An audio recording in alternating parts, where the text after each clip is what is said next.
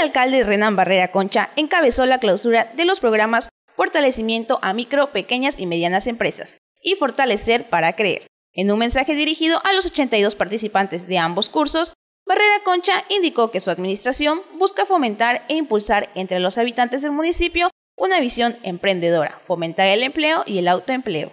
El alcalde remarcó que en el caso del Centro Municipal de Emprendedores, las nuevas solicitudes aumentan en un 400%, gracias a la nueva dinámica y reestructuración en el fortalecimiento de los programas que se brindan.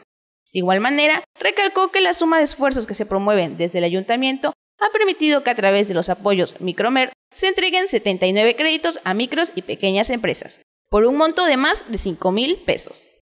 Notivisión.